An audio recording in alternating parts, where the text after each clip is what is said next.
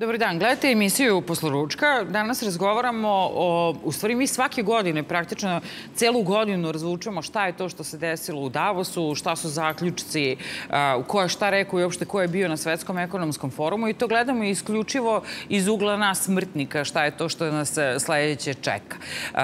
I danas ćemo da govorimo i o četvrtoj industrijskoj revoluciji i o velikom resetu, ništa od toga nije problem. Problem je što se u taj kontekst stavljaju sledeće činjenice i više nije jasno, apsolutno nije jasno ko, šta i kako tumači. Um, vratio se sifilis 2023. godine, vratile se male boginje 2023. godine, a zašto? Zato što um, je grupa koja se opire toj revoluciji ili resetu i tako dalje, koja se naziva um, antivakseri, koja se naziva teoretičari zavere i tako dalje, oni su krivi zašto se unazadio svet i u tom zdravstvenom smislu. Ovo su stvari o kojima se govorilo od početka 60-ih, pa kulminacija 80-ih, pa kod nas 90-ih godina. Nije to ništa novo, niti je jedna tadašnja teorija zavere do sada pobijena, a pristajem na izraz teorija zavere, jer se mnogo toga, previše toga ostvaruje. Ono što je zaključak neizbežan Davosa je da planetarno, pošto oni gledaju da naprave jednu vladu za celu ovaj, zemaljsku kuglu, dovelo do toga da 1% ljudi drži kapital 99% sve gladnijih i sad se to po kontinentima deli negde to čak i do 20% drži kapital, onih 80%. Ovi su sve bogatiji, ovi su sve većem problemu i zaista planiraju da nas osiromaše do, do tog trenutka da ćemo u jednom momentu pomisliti da je ta neka globalna svetska vlada uh, jedini spas. Uh, danas je sa nama gospodin Borojević. Dobar dan i dobrodošli. Dobar dan. E, niko ne preskače ni decu. I u Davosu su pomenute i deca. Mm. Sad se govori o stotinama hiljada dece nestale a, preko cele godine i najviše se za to krivi američka vlada, tačnije održano je neko veće njihovih sudija, gde je rečeno da svaka država koja ima vojnu bazu Sjedinjenih američkih država ima veliki problem sa porastom broja nestale dece. Kriza je najveća trenutno sa decom koja su izašle iz Ukrajine, ne znam u kom se broju radi, ali je očigledno i to postao neki predmet za podkusarivanje na svetskom nivou. Pa ja sam baš u ovoj emisiji kada je bila sirijska kriza rekao da je u Italiji nestalo 22.000 dece koje su došla nekakvim brodovima, plovnim putevima do, do Italije. Kad kažem nestala, znači ne zna se gde su, gde su otišla, kojim putem su odvedena. Trgovci decom, trgovci organima, njima biznis, nažalost, cveta.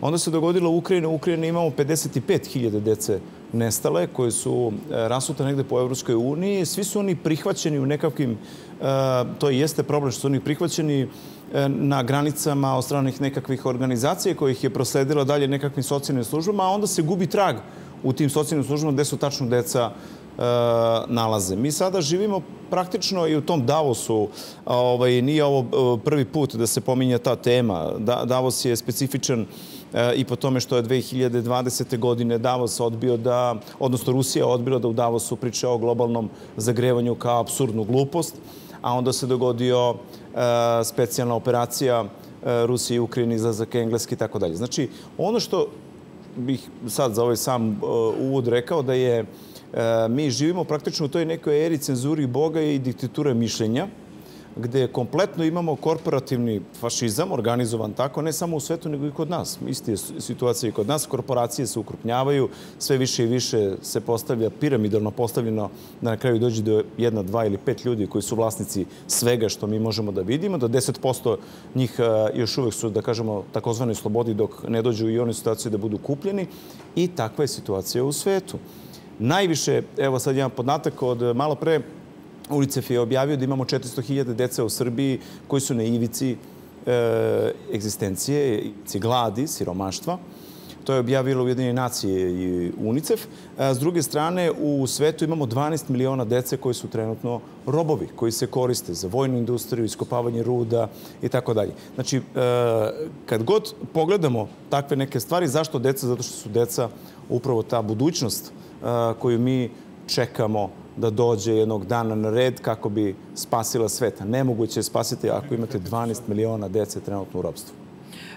Čućemo, i postoji taj insert, sad je to kao sloboda društvenih mreža, gde i američki sudije govore o tom problemu i čak lociraju da problem potiče iz njihove, iz njihove države. Dragan Vujičić je danas sa nama novinar. Dobar dan i dobrodošli. Sada je Davos stavio akcenat na to, znate, kaže, ogromna je razlika između broja bogatih i siromašnih i ogromna je razlika u količini, jel, bogatstvo raspoređeno. Imaju najbolju nameru da se u sledećem periodu, to im je jedna od sledećih ciljeva, to bogatstvo pravednije rasporedi. I sad ja se strašno bojim toga kako će oni to da tumačenja toga. Da, ovaj, Oxfam se zove organizacija koja, koja se bavi nejednakošću, nejednakošću bogatstva. Oxfam inače sedište je u Keniji, ali to je jedan savez, savez ovaj, humanitarne organizacije koja Ovo je 52. sastanak ovaj, Davosa, a ovo je recimo da ja znam deset izveštaja Oxfama koji koji, koji dolazi pre ovoga i koji, koji govori šta se dogodilo prošle godine sa bogatstvom. Dakle, pretpoštom izveštaj za 2021. za, za 2020. Ovaj, govorili su o tome da je, da je tak, COVID kriza ovaj, izrodila novi 578 ili 586 milijarda, 30 milijardi, 30 milijarda, 1 milijarda, 1 milijarda na 30 sati. To je bilo ceo taj COVID biznis i tako dalje je izbacio. Dakle, međutim, ovaj, šta se tu dogodilo? Dakle, ipak, je, ipak se ovaj, to bogatstvo koje se, koje se stvorilo u bilionima, znači u hiljadama milijardi, podelilo tako što je 50% otišlo na 1% tih, sta, sta tog da ne zove stanovništva, ostatak se razdelio po celom, svetu. Ovaj izveštaj Okstrama koji, koji se pojavio naravno pre nego što dan pre nego što je počeo savjet samit u Damosu, znači u petak subotu, oni su izračunali da u 2022. godini, 2021. u stvari, da, da je 27 biliona biliona dolara, znači zarađeno, napravljen jedan profit 25 biliona dolara, s tim što je ovog puta pola tog bogatstva otišlo u, u tih 1%, dve trećine u 1%, znači za, za, za neki 15, odnosno za neki 20 i, i, i 27% je otišlo dalje. Dakle, ta raspodela kolača je samo, samo, je, samo se ubrzala na način da, da najbogatiji imaju još više, a siromašniji još manje. Davos je takav kakav jeste, dakle i ove godine, kažem, 52. put je. Ovo je, ja ću sad malo da napravim, da napravim ovaj, da, ovaj, jedan presek. Ovo je prvi put da se govori o tome da Davos, da, Davos, da, Klaus, da je vreme da Klaus Schwab ostupi, da je vreme da, da ga neko drugi zameni. Ovo je prvi put, recimo, da se u, ovog puta na zvaničnim panelima se nije pojavljivalo ni pojavilo se četiri ovaj, ovaj, dotska evolucija, ali ne i veliko resetovanje, znači ne i ove krupne reči koje su obeležile unazad dve, tri godine ovaj, javno mnenje. A to je dobro, zato što mi sa Klausom Švabom znamo pa, na čemu smo. Da, ali, mislim, ali sa, sa novim novi... liderima poput Tony Blaira ili poput ovaj, ne znam, pominje se Christine Lagarde, ali ona je starija, pominje se ovaj čovek koji je bio vicekancelar Nemačke, koji je inače vjetanskog porekla, pominje se neki Borg koji je bio ovaj, ministar financija Danske i tako dalje. Međutim, što oni su otprilike, otprilike ono što se može, može videti, što se može, može naznačiti, dakle, da, je, da su se da je ovaj, ova, da, da, da je Davos previše otišao i previše zaplašio narod i da je vreme da se reternira i da je vreme za nekoga Tony Blaira. Recimo, to je novo, to niko ne pominje, ali ovaj, pisali su i Beer Bright, pisali i politiku, dakle, više, više, ovaj, više, više ovaj, medije izveštavalo o tome i naravno opet bila je, bila je ovaj, dosta leče metaverzum i vakcine su obeležile obeležili ovaj, ovaj, ovaj, i ovaj Davos. E, ali ovako, dakle, da bi se manipulisalo i sa jednim i sa drugim, neophodno su razna obolenja. Nama nije jasno, jer i to je u potpunosti novo. Ceo svet je postao potpuno nejasan i to je zaključak svih. I ne može više ni da se prepozna istina. E, I onda govorimo e, o, o konkretnim slučajevima, o nama samima. I drago mi je što je danas sa nama dr. Bojan Cakić, kardiolog. Dobar dan i dobrodošli.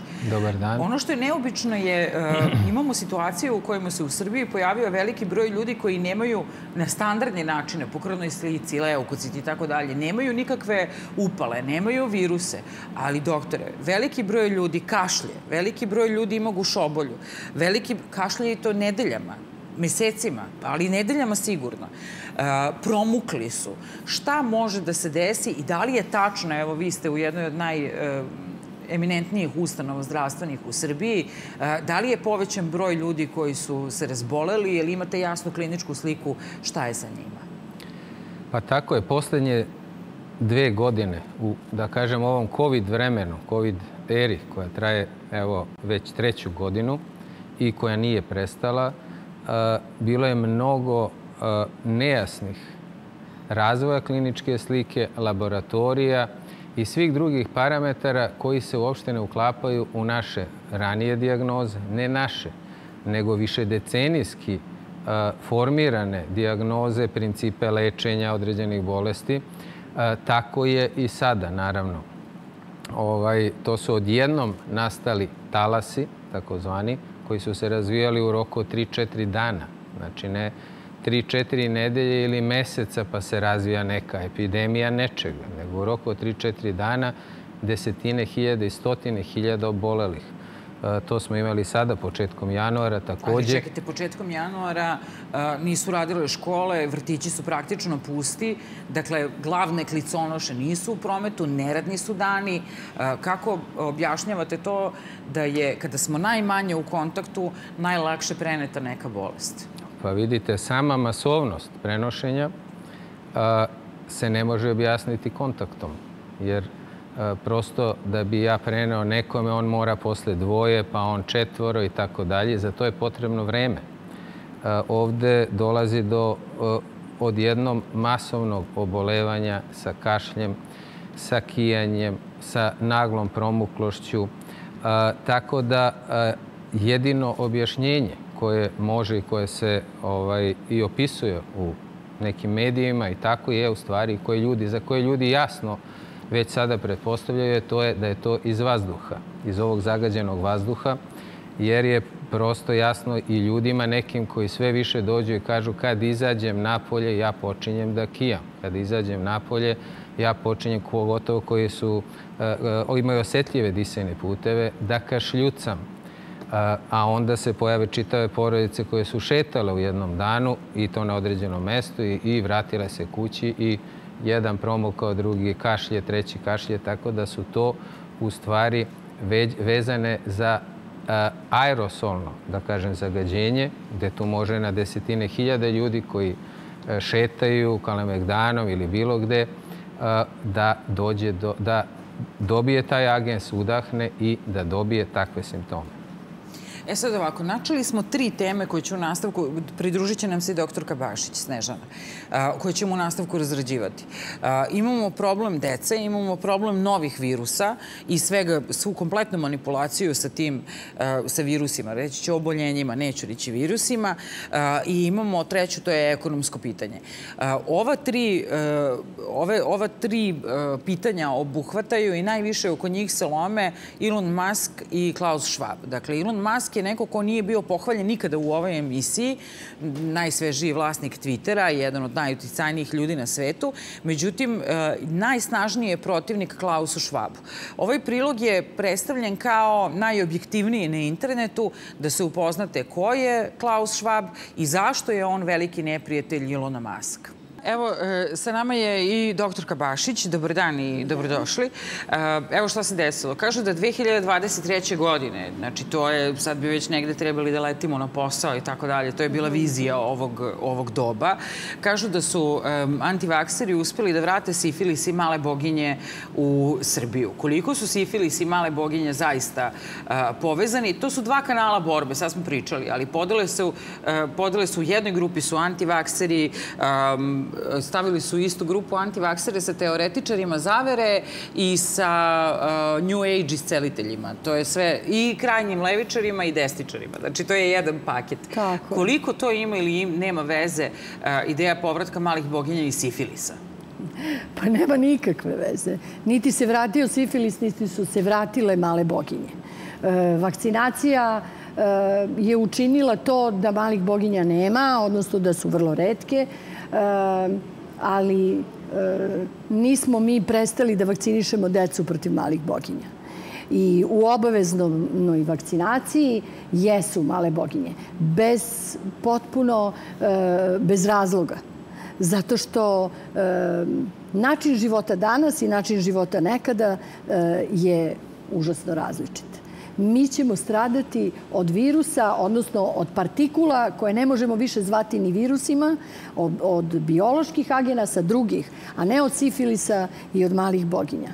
E, znate da su pokušali da sidom, virusom side, e, zaraze najpre afrički kontinent i da naprave depopulaciju na taj način, odnosno da veliki broj e, zaraženih umre.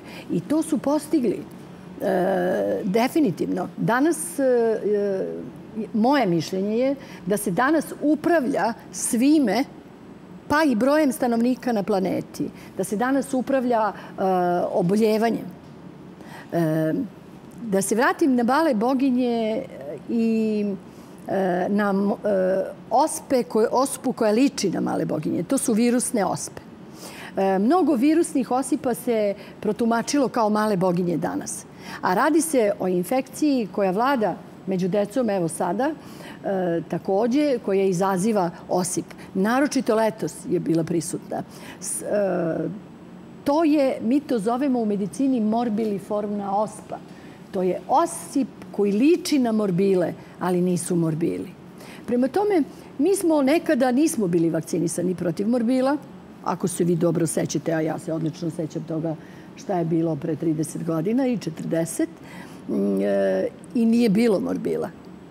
To su bili redki, redki slučajevi morbila. Danas se toliko na e, MMR vakcinu, takozvanu, toliko se agituje.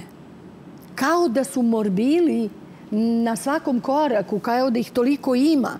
I to vam odmah, naravno, budi sumnju da putem takve vakcinacije može se učiniti i nešto drugo, a ne samo zaštita stanovništva. Mi više ne verujemo to je jasno kao dan.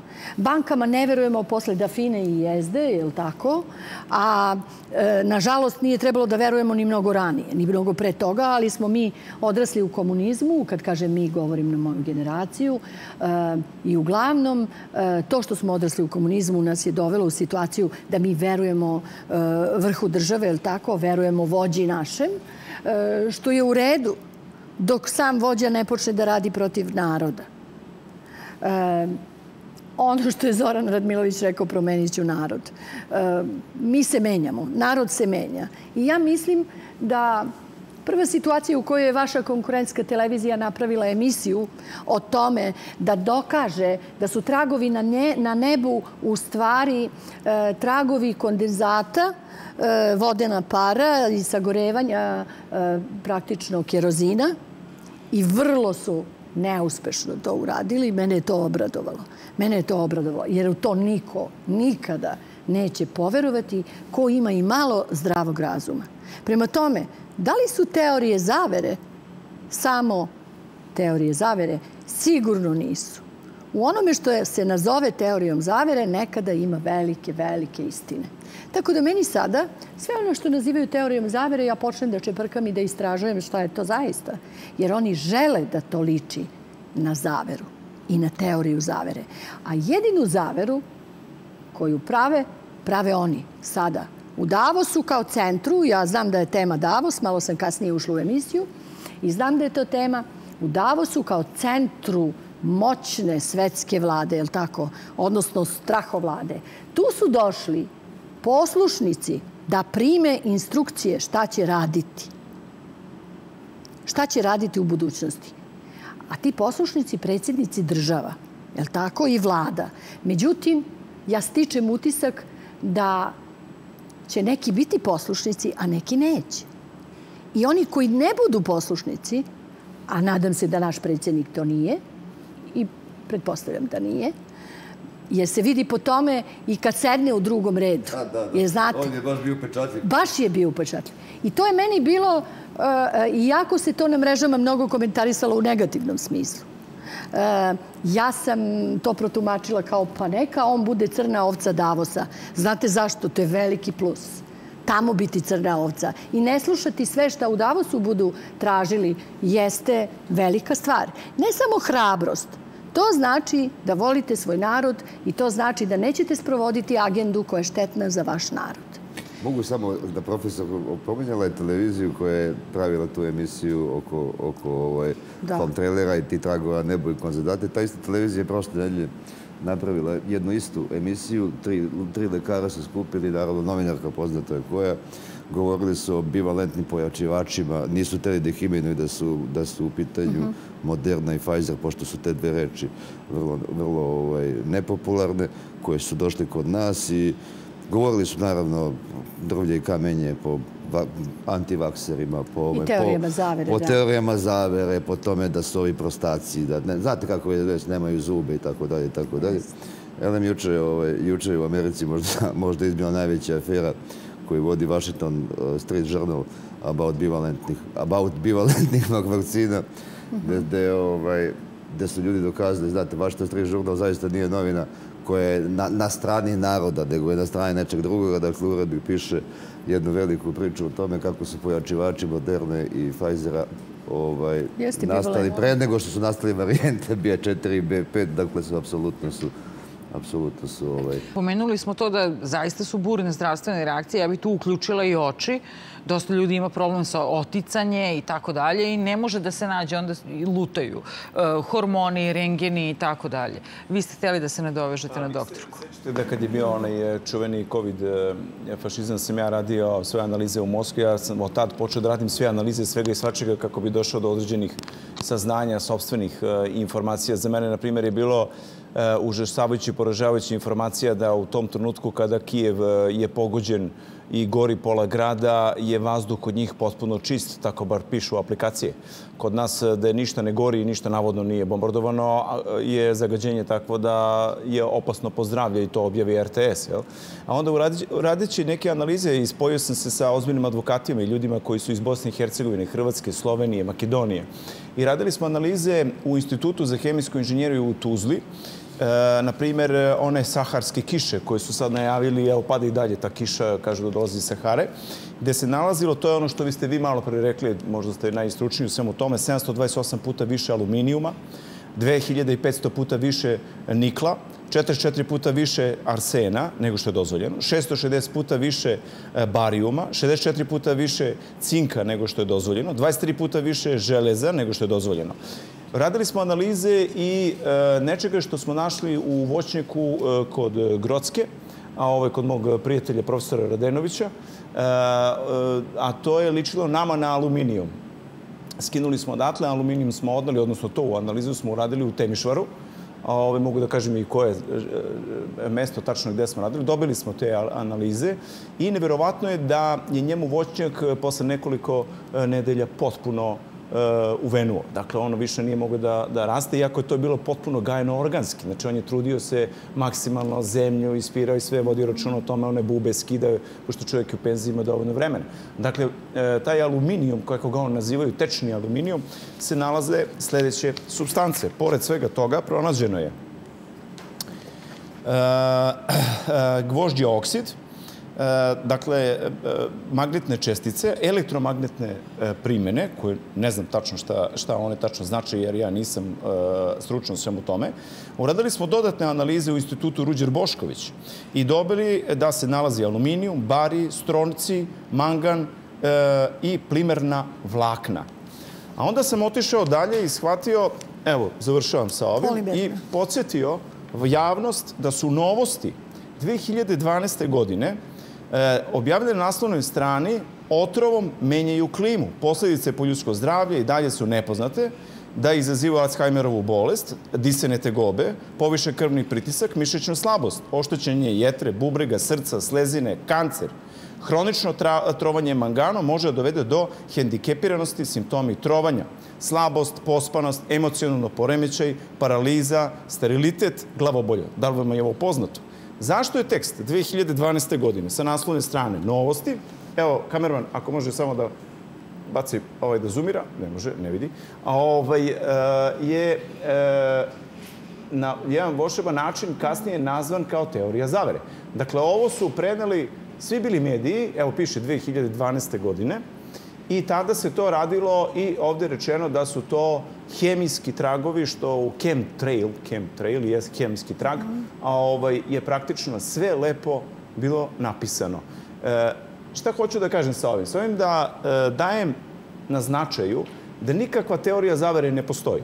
Ovde samo postoje preum, preuranjene vesti koje izađu bez kontrole ili se pojave na nekim mestima, u nekakvim knjigama, u nekakvim radovima i onda počinju da se obaraju sa ponižavanjem. Ponižavanjem da taj neko je potpuno e, nebitan, da on je naučni radnik, ali evo, uradili smo analize u Temišvaru, u Ruđer Bošković, uradili smo u Tuzli, u Zagrebu, u Sloveniji. Svuda se nalaze isti sastav vode, kišnice, snega, sve ono što pada po nama i vazduha. Novosti su u pitanju. Ovaj, samo, da, pa ne, novosti piše 2000, dakle, ovo naravno da nije teorija zamere. Chemtrail je zvaničan program koji je postoje 2007. godine ovaj, univerzitet, fakulteta Harvardu i jednih nacija. Znači, u pitanju je apsolutno program jednih nacija da se ne lažemo. Chemtrail, chemtrail to, to je to. 52 zemlje sveta, dakle 194 zemlje ili 195. Eksperimenti šest sa klimom, izbacujući koje kakve agense, pokušavajući da upravljaju oblaci. 52 zemlje sveta. Ako nije, to, to, je nevero, to je jedan neverovatan broj. Dakle, mi ovde govorimo o jednom globalnom eksperimentu, između ostalog, ta priča je bila u Davosu u više fragmenta, na više načina. Jedan od tih fragmenta je bio možda najveća glupost koja je ikada rečena među tim javnim radnicima. To je izgovorio je čovek koji to nije dobro razumeo šta treba da kaže Al Gore, popularni Nobelovac Al Gore, koji je u jednom trenutku rekao kako je CO2 opteretio, toliko opteretio ljudsku klimu kao da svaki dan ovaj, kao da svaki dan čovečanstvo izbacuje 600.000 atomskih bombi u, u atmosferu kao što, kao, kao, kao što su pale na Hirošimu. Dakle, to je jedna od najvećih gluposti. Druga stvar koja je obeležila Davos, Davos ove godine, to je bilo dan pre Davosa, to je bio jedan, jedan tweet uh, ovog uh, novinara uh, Uh, setit će se kako se zove koji je napisao kako su, kako su, kako su kompanije koje prevoze ove ljude u Davos, dakle tamo dolazi oko hiljadu, ove godine je došlo nešto preko hiljadu sto aviona, prošle godine bilo 1060 privatnih aviona, da su tražili da piloti koji, budu, koji pilotiraju budu nevakcinisani. To je, to je, ovaj, to je obeležilo Davos, na kraju taj čovjek se taj čovek koji se javio rekao da nije tačno to rekao i zaista nije. On je inače predsjednik udruženja letača koji su oštećeni vakcinom. Postoji, oni imaju svoje neformalno udruženje, ali se javio i čovek koji posjeduje kompaniju za to, koji kaže da, tačno je, nama traže pilote koji nisu, koji nisu vakcinisani zbog oštećenja. Znači, to je ta druga stvar, to ovo je treća stvar i naravno da se govorilo, naravno da se govorilo o preumljivanju sveta i naravno da se govorilo o, ovaj, eksperimentima na ovaj način na, ko, na, na koji treba predvoditi i s tim što je sada ovog puta samo umestog velikog reseta govorilo o veštačkoj inteligenciji kao, ne kao ideologiji više nego kao božanstvo. E, vi ste, e, vi ste donali knjigu koja se bavi tim istim kentrailovima. Dakle, ja znam da vi kao lekar ipak je kod vas vrlo frekventno u bolnici. Uvek tražite taj uzrok da je nemoguće i sve teže naći terapiju. Da li ima prevencije i koliko ste sigurni da se radi o nečemu što se širi vazduhom i zaista u vreme kada ne rade firme, ne rade škole, ne rade vrtići, da bude masovno obolevanje i tu u pitanju je dan koje su iskustva? Šta vam je? Pa, Upravo tako, pre par dana sam dobio ovu knjigu, jedan prijatelj mi je dao, ovaj, kada sam rekao koja je tema e, razgovora, to je sad već svima jasno, da kažem, sem onima koji ne žele da veruju da se tako nešto događa. Prosto imate ljude koji ne žele da veruju da iznad njihovih glava neko nešto izbacuje. To je knjiga koju je Mašinski fakultet izdao, Hemijski tragovi na planeti Zemlji, dominacija, eto, od, iz 2019. godine, gde preko 300 referenci, radova, naučnih i tako dalje, uglavnom iz Amerike, pošto to tamo traje već 30 e, godina eksperimenti na određenim područjima, a, sa, da kažem, preciznim podacima tipa da a, aerodrom u Los Angelesu proizvede mesečno 800.000 tona ugljen dioksida. Znači, nama pričaju da životinje zagađuju i treba da unište krave i tako dalje, koje u stvari obogaćuju ekosistem, a jedan aerodrom mesečno toliko. Gde je New York, gde su ostali svetski aerodromi, Frankfurt i tako dalje, koji potpuno uništavaju, odnosno zagađuju našu klimu. Da ostavimo to po strani, hemijske tragove vidimo već godinama, ja nisam verovao, međutim kada me ljudi pozovu i kažu gledaj sad i šta je primećeno? Da svake, otprilike za novu godinu svaku, i prošle, i preprošle, kada su počinjali talasi covid na nebu i u vazduhu iznad Beograda je bilo desetina aviona koji su leteli nasumično, jedan pored drugog, pravili osmice na nebu i tako dalje. I tad je bilo takozvano zagađenje najveće. Nakon takvog neba koje vidimo, mi smo imali na hiljade ljudi, desetine hiljade ljudi posle dan, dva bolesnih sa simptomima. I to je ono što počne sve nas da opterećuje. Svaki čovek kad se okrene i recimo 5. 6. januara pozove 10 ljudi oko sebe, vide da je pet bolesno, da su promukli, da vuku tu promuklost, oni koji su osetljivi i više. Tako da je to sad već jasna potpuno uzročno-posljednična veza da to, kako ga zovu zagađenje, a koje nastaje skoro uvek kada vidimo to po nebu, izaziva kod mase ljudi simptome ove koje imamo.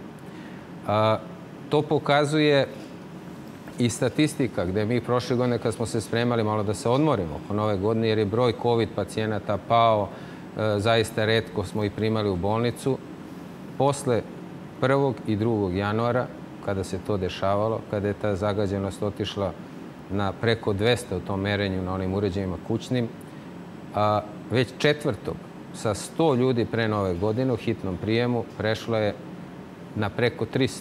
Znači za četiri dana preko 300 ljudi dolazi sa COVID simptomima ovo.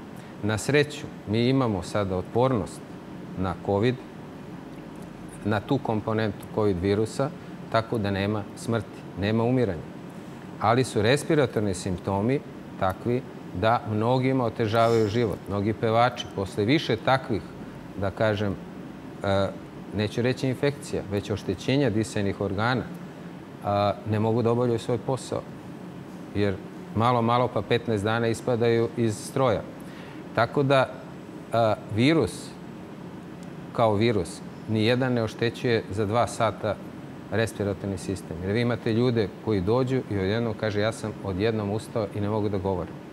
Takvo oštećenje ne može da bude od virusa, nego može da bude od neke druge nokse, da kažem, da li je to hemijska noksa kiselina, da li je to prehladan, da kažem, ili gazirano piće i tako dalje, ali neka noksa koja ošteti respiratorni sistem. Tako da to više nije tajna.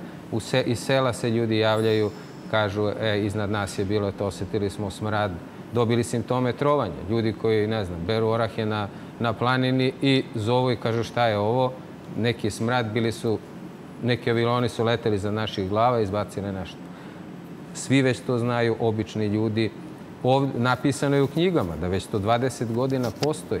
Samo kažem, samo oni koji ne žele da i ne mogu da ovaj, podnesu da se nešto tako dešava iznad njih, prosto ne veruju jer već veruju u nešto drugo. Ali to nije rešenje. Zabiti glavu u pesak i a, tražiti uzroke u nečemu što ne postoji. Ni ovi oblaci za nas koji smo nekada možda bili na selu u prirodi, kad kažu to su oblaci. To nisu oblaci. Oblaci znamo kakvi su citrusi, ovakvi, onakvi i ne liče uopšte i ovo nebo, na nebo našeg detinstva. I nije. Već to je ono što izađe i raširi se po nebu. To je neka magla koja prosto zatvara i nama sunce zatvara, ali takođe izaziva masovne infekcije. E, čuši ove podatke, e, šta se nalazi u tome, šta ste u analizama uradili i recimo u ovoj knjizi nisam stigao da pročitam, ali po nešto, bojim se kasnijih posledica. Jer ovo o čemu mi pričamo, to su akutne posledice koje vidimo. Danas je to, za dva dana znamo da će biti poziva telefonskih stotine, da će u domovima zdravlja biti hiljade ljudi, sa takvim simptomima da će hiljade ljudi otići na bolovanje jer neće moći da funkcionišu prosto sa takvim laringitisom, kašnjem i tako dalje. Ali šta je sa onim, ovo što ste pričali, ne znam baš sve detalje, tih analiza koje su egzaktne Tako. i koje pišu, čak i eto u ovoj knjizi kažem nešto sam pročitao, verovatno i više piše, šta će biti sa bolestima koje će se razviti udisanjem tog aluminijuma i tako dalje. Zato moramo prosto da budemo pragmatični. Kada su neki ljudi zvali i pitali kako je ovo zaprašivanje komaraca gradske službe. Šta se ovo dešava iznad nas? Ili se zaprašuju komarci ili smrdi bube ili ne znam, bubamare? Šta se ovo dešava? Gradske službe su rekli da na, mi to ne radimo. Znači, to, je, to su međunarodni letovi, neki međunarodni avioni koji lete iz naš, iznad naše zemlje, koje prosto e, verovatno da niko ne može da zaustavi jer Naravno. nekim svojim putem. E, pitanje... Tako da, ali mi moramo i pored toga što je to neko ko je iznad nas, da se zaštitimo kao ljudi, jer je pitanje dugoročnim udisanjem, šta će biti sa našom doktore, decom? Moramo, da, ali kasnije moramo da, da kažemo ljudima da li postoji neka prevencija. Postoji, ali kako da pomognemo sebi. Pitanje zdravlja je postalo uh, političko pitanje. I svako odlučuje za sebe, to bi trebalo da bude tako. Međutim, i jeste. Ne, kod nas u zemlji nije bila obavezna vakcina, ima gde jeste bila obavezna i tako dalje. Međutim, sve veći deo sveta, uključujući uh, i Ameriku, se budi ili, kako oni kažu, ulazi u teorije zavere. Uh, ovo su, ovo je jedan uh, od najposećenijih kanala koji je i televizijski, ali i na internetu ima svoju snagu. Jedna Amerikanke koja je govorila o svetskoj zdravstvenoj zdravstvenoj organizaciji i nekim od svežijih vesti po tom pitanju da se tiče građana Amerike. E, evo, doktorka, sve, sve veći broj tih ljudi oni nazivaju, ja ne vidim ružno u teoriji zavere, čak sam se navikala i pih, prihvatila uh, ideju teorije zavere, ali ne prestaje ideja uh, vakcinacije. Uh, Da. Koliko, mi, mi smo posustali u tome i kažu da, li... da, su, kažu da su poražavajući rezultati, da postoji opasnost od e, ponavljanja i tako dalje, vraćanja virusa, zato što se nismo odazvali kako treba. Mi smo svi videli da je to bilo besmisleno da je vakcinacija u suštini ponavljanje vakcinacija e, protiv korone e, bila besmislena jer je virus mutirao i e, vakcina apsolutno nije zaštitila ljude od oboljevanja. Da li su oblici e, oboljevanja bili lakši zbog toga što smo vakcinisani? Ne, nisu. To se uvek dešavalo u istoriji da vakcinacija samo pospeši u trenutku epidemije i najjačeg tala sa epidemije, to će vam reći svaki epidemiolog koji ima iskustva, da je vrlo nepopularna e, i da ne može da, da, da deluje povoljno na virus, nego baš naprotiv natera ga da se vrlo brzo promeni u pravcu koji ne možete da kontrolišete. E, ovde se desila situacija da je vakcinacija kod nas bila spora, što je dovelo u situaciju ljude da obole, da se prokuže oboljevanjem. Tako da su mnogi već se prokužili i naravno sada je 100% stanovništva skoro prokuženo koronom, e, ali nije to problem. Mnogo važniji problem. Mnogo, mi smo problem sa koronom imali ne zbog same infekcije, nego zbog posljedica koje ona ostavljala. Zbog tromboza, E, znate, ovo što je govorio, što svi, u stvari mi govorimo o chemtrailsima ili hemijskim tragovima, hemijski tragovi su zvanično u nauci potvrđeni da postoje na nebu i da se tu radi i kada postoje u intenzivnoj meri tu je ogromna koncentracija organofosfornih jedinjenja koja su e, posledica sagorevanja kerozina, recimo goriva. E, organofosforna jedinjenja su jako opasna za čoveka i da samo to bude, da samo to bude da nas zagađaju na taj način je mnogo. Radi se o nanočesticama, o hemijskim nanočesticama. Da, pojasnu, da pojasnimo ljudima da je to milijarditi deo milimetra. Znate šta to znači? To znači da vi bukvalno imate česticu, o nanotehnologiji se govorilo kao o, o velikom uspehu. Imate česticu u nauci. Imate česticu koja direktno prolazi e, u ćelijsko jedro, ulazi u ćeliju, ulazi e, u krvotok, ulazi u plućnu alveolu, ulazi. Za nju ne postoji prepreka. I to se prvo radilo u oblasti elektroindustrije, kad su u pitanju razni sistemi i u vojnoj industriji. Znate, doći ćemo u situaciju, oni o tome već pričaju, Elon Musk, samo što se zvanično o tome ne govori, da će vam na odeći, na džemperu vašem, evo na mojoj košulji, da će e, postavljati, da će se implementirati sistemi koji će vas e, koji će kontrolisati vaš metabolizam Jer hemijska čestica takve veličine, na nju kad nalepite, možete da nalepite sve. Možete da nalepite bakterije, viruse, plesni, protozoje, gljivice, sve. I oni to upravo rade.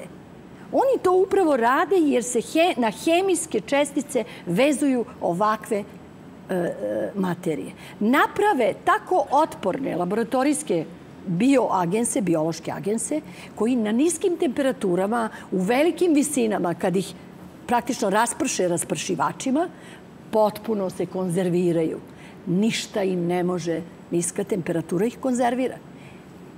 Spuštanjem i vezivanjem za čestice vode naročito, naročito kiše.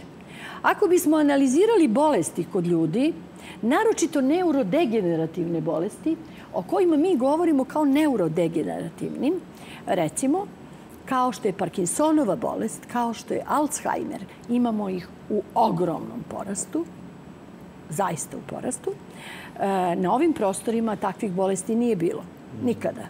U poslednjih 20 godina dešava se porast. Da ne govorimo o autoimunim poremećima, multipla skleroza. To su sve bolesti koje zahvataju neuron, znači zahvataju nervne ćelije, zahvataju prenose impulsa u mozgu, usporavaju prenose impulsa od mozga ka mišićima, što znači vi blokirate, potpuno možete blokirate jedan narod. Ako mu dobro istražite genom. I ako možete da napravite takve čestice hemijske koje će prodreti kod nekih do centralnog nervnog sistema, kod nekih će ići samo na zglobove, kakvu ćete vojsku imati, kakve vojnike, kakve mlade ljude, otkuda limfomi u ovoj meri kod mladih ljudi, leukemije, limfomi. E, suština je da ćete na takav način kontrolisati oboljevanje. Praktično ćete ga distribuirati onako kako želite. Organofosforna jedinjenja, izvinjavam se samo da završim, su jedinjenja na koja smo, o kojima smo mi slušali o trovanjima kod poljoprivrednika, recimo u pesticidima se nalaze. Smrtnost trenutno mogu da izazovu. Znate, za nekoliko desetina sekundi. A zamislite šta se dešava kad vam oni takvim jedinjenjima, da ne govorimo o jedinjenjima ugljenika, to su nanočestice. Mi ih imamo, to što govorimo o ppm-ovima, ispod 2,5 nanometra, to su, to su čestice takve veličine, mi ih imamo u ogromnom broju. Prema tome, ne bojim se bioloških agenasa. Oni su samo jedan agens u nizu E, bojim se nanočestica koje udišemo svi, svakoga dana, koje udišu naša deca. Prema tome, nanočestice će izazivati karcinome i izazivaju ih. Mi ne, mi ne treba u stvari, kolega, da govorimo o, u budućnosti. Mi to vidimo. Mi to vidimo već danas. Jer ako je, kako si rekao Vujo, 2007. godine da, da, krenulo sa tim zaprašivanjem, sa navodnom kontrolom klime, pa sećate se onog nesretnog harpa. Zašto su te čestice važne? Mnogo su važne, jako su opasne. Njima se, njihovi, njima se rukovodi, znači diriguje se elektromagnetnim poljem, antenama praktično ovim, to da na, prost, na jezik da prevedem naroda koji ovo gleda, vašu emisiju. Njima se rukovodi e, e, elektromagnetnim poljem, jer one se usmeravaju i kreću na taj način. Prema tome, možete ih usmeriti u pravcu koji želite. Da ne govorim da svakodnevno u savjetovalištu imam ljude koji nikada nisu konzumirali alkohol, koji nikada nisu konzumirali lekove, ne piju, ne piju lekove koji imaju ciroze jetre. I sve ih je više i više.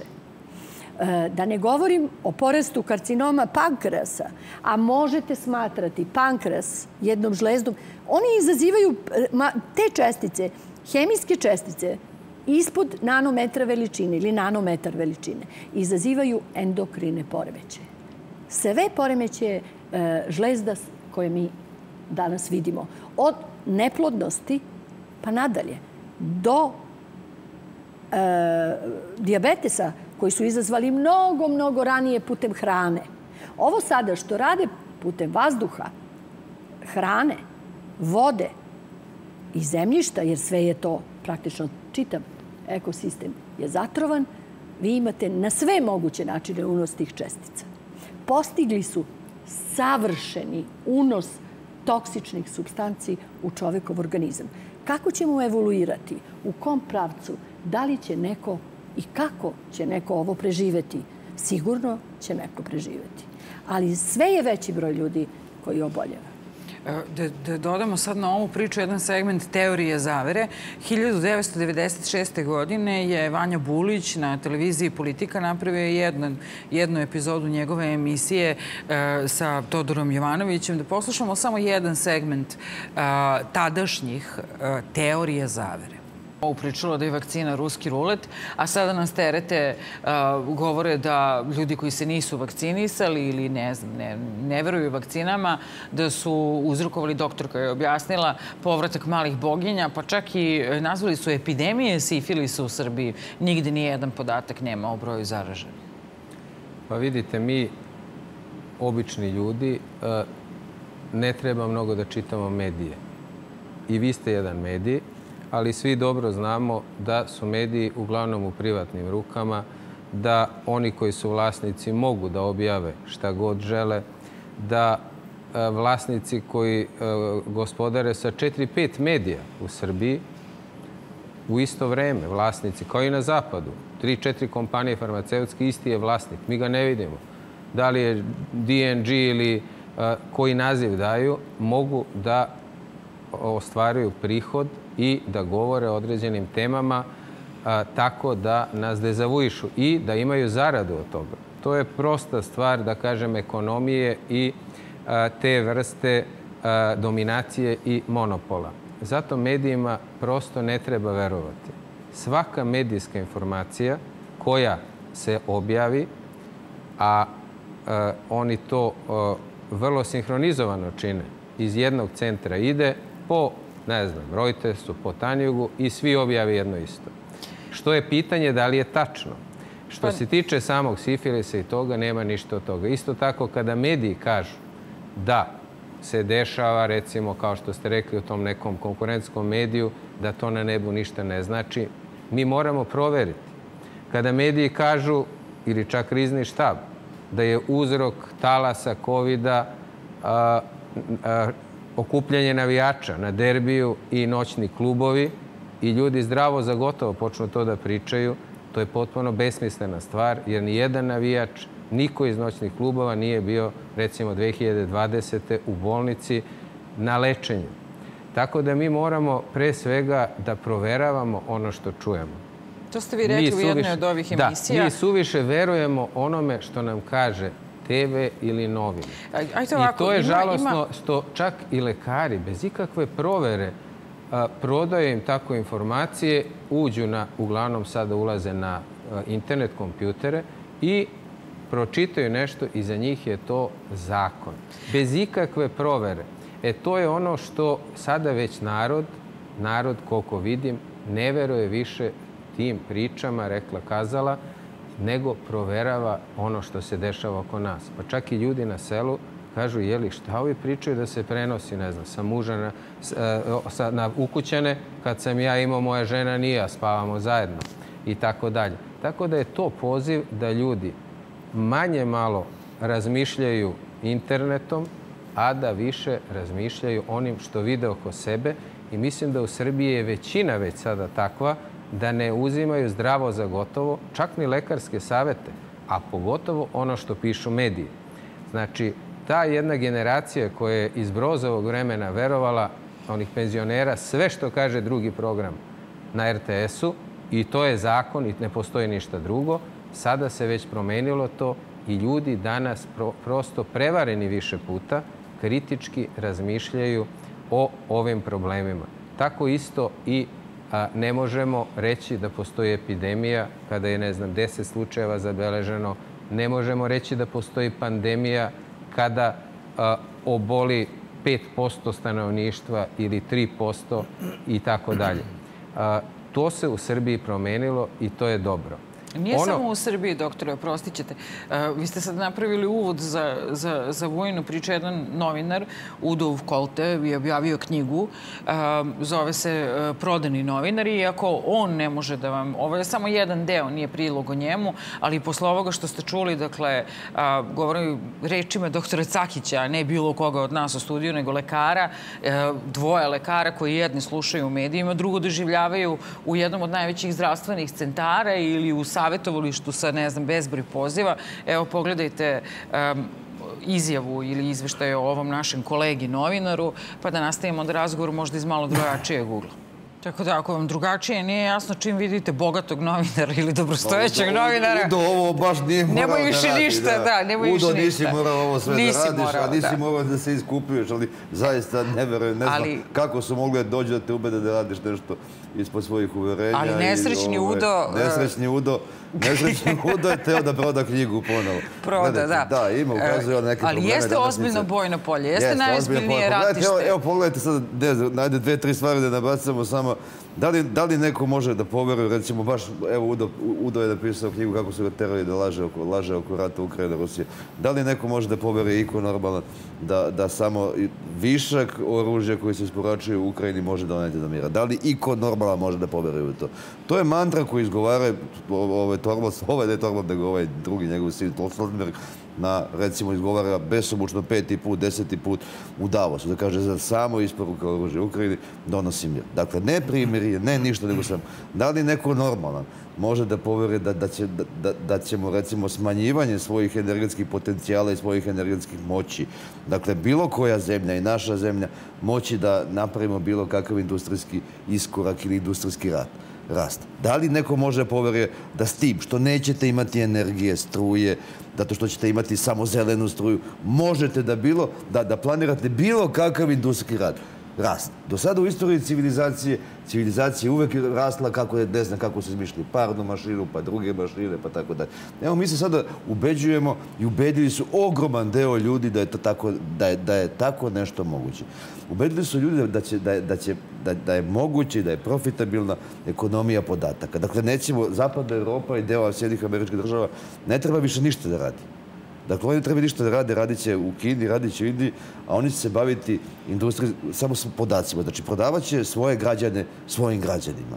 Dakle, mi ćemo preko IT stvari, doktor pitao o tome, između ostalog i tih, tim nano česticama na džemperu, znati kad nam, kad nam je potreban neki lek, da li da, ne znam, žučna kesa radi dobro, da li da neka žlezda radi dobro i mi ćemo na taj način, da su to su naši podatci. Znaće se ovaj, zdravstveni podaci, znaće se naše navike, znaće se naši, naši običaji, znaće se sve naše manje, dakle moći da nas kazne. Moći da nas kazne, a, ima, žive, a imat ćemo univerzalni taj dohodak. Dakle, ovo, što, ja kad, bi neko pita šta je Davos, ja mu kažem, to je mesto gde se skupljaju ljudi koji predstavljaju ljudi koji imaju više od svega što postoji na svetu. Kad kažem više od svega što postoji na svetu, znači to su ljudi koji predstavljaju ljude koji imaju apsolutno sve, znači apsolutno svu tu sumu novca koja je u opticaju, a u toj sumi novca koja je u opticaju je preštampano i doštampano još, recimo, naduvano deset puta. Oni imaju više od svega na svetu. A raspadaju sudbinama onih, koji imaju manje od ničega. Uglavnom manje od ničega. Kad kažem manje od ničega, znate, mi sad svi mislimo da imamo, ne znam, i kola i stanove i ovo i ono, ali u principu svi imamo kredite. Mi sutra možemo da ostati i bez kola, i bez stana, i bez svega ovoga i da se jednostavno banka istera napolje. Dakle, možda ne mi lično, ali ogroman deo, naročito zapada, živi na te kredite i oni su manje od ničega. I šta je sada? Onda dolazimo do, do, te, te, do, do te teme, više to nije, više to nije veliki reset, nego to je četvrta industrijska revolucija kada ćemo, kada ćemo svi živeti u jednoj vrsti komunizma, tako što, ćemo, tako što će nama vladati jedna veštačka inteligencija. To je sada već postalo, to više nije ideologija, to je sada religija.